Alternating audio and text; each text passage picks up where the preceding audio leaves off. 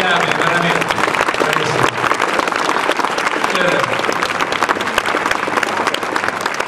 A premiare il presidente della cantina di Ace di Casa Bertanero, Paolo Lecaio. Okay, adesso consegniamo il premio, poi prendiamo un attimo, prego. Ecco. Mircea, questo è per te.